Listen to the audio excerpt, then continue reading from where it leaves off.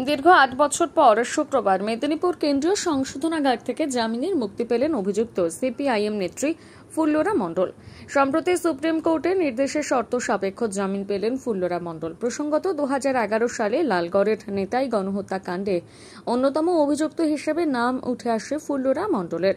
এরপর দু হাজার চোদ্দ সালে ফুল্লরা মণ্ডল গ্রেপ্তার হয়। দীর্ঘ আট বছর ধরে তিনি জেলে ছিলেন। আজ শুক্রবার সুপ্রিম কোর্টের নির্দেশে কুড়ি হাজার টাকা বেল্ট বন্ডের শর্ত সাপেক্ষে জামিন পেলেন মেদিনীপুর কেন্দ্রীয় সংশোধনাগার থেকে। এদিন ফুল্লরা মণ্ডলকে সংশোধনাগারে স্বাগত জানানোর জন্য উপস্থিত ছিলেন সিপিআইএম পশ্চিম মেদিনীপুর জেলার সম্পাদক সুশান্ত ঘোষ ডাক্তার পুলিন বিহারী বাসকে বিজয় পাল সহ অন্যান্য জেলা নেতৃত্ব। তবে জামিনের পর তিনি পশ্চিম মেদিনীপুর জেলায় থাকতে পারবেন না বলে জানিয়েছেন আদালতে।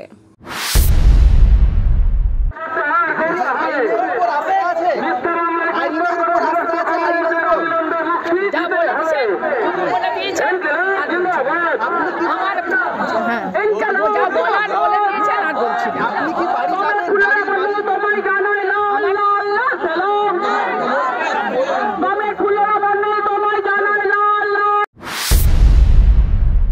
মেন দিকটা আমাদের বোঝার দরকার আছে। এখন হচ্ছে এই সময় আবেগ তাড়িত হয়। তার পরিবারের লোক, পার্টির লোক দেখার পরে। এখন বেশি প্রশ্ন করে বিব্রত করবেন না। আট বছর পরে, আট বছরে একদিনও প্যারেল দেয়নি। মা মারা যাওয়ার পরেও প্যারেলে যেতে দেয়নি, তাতেও আপত্তি করেছে। ভাই মারা গেছে, তাতেও আপত্তি করেছে। হ্যাঁ কোনো মানে মানবিক দিক আছে, এটা কেউ বলতে পারবে না যে বর্তমান শাসক দলে। থাকলে তাহলে আট বছর অন্তত আটবার প্যারেল পেত। কিন্তু কোনোদিন প্যারেলে মা মারা যাওয়ার পরও হচ্ছে বেরোতে, তাতেও আপত্তি করেছে। মা মারা গেছে তখন দেখতে গেলে নাকি আইন শৃঙ্খলার অবনতি হবে। গোটা রাজ্যটাকে শেষ করে দিয়েছে যারা, তারা এই অভিযোগে। আমাদের যারা দীর্ঘদিন, বছরের পর বছর জেলে আছে, তাদের প্যারেলে পর্যন্ত যেতে দেয়নি বহু বছর। কোর্ট থেকে অর্ডার করে প্যারেলে যেতে হয়েছে। এত প্রতিক্রিয়া, এত প্রতিহিংসা পরায়ণ হচ্ছে বর্তমান শাসক দল। আর তার শিকার হচ্ছে ষড়যন্ত্রের শিকার।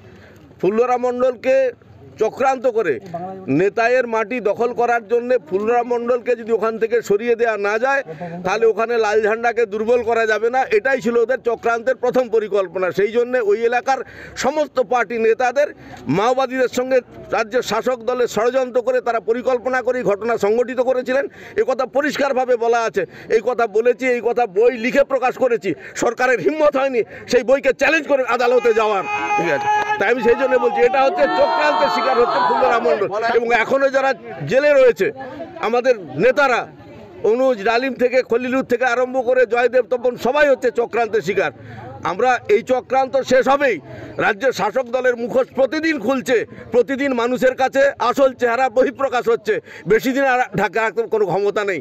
যে জায়গায় পৌঁছেছে এরা, মানুষ এদের ধাক্কা মেরে এদেরকে ক্ষমতার থেকে সরাবে। শুধু সময়ের অপেক্ষা, হয় আজ, নয় কাল, না হয় পরশু। এই দুর্বৃত্ত রাজে জঙ্গল রাজের অবসান পশ্চিমবাংলার মানুষ করবেই।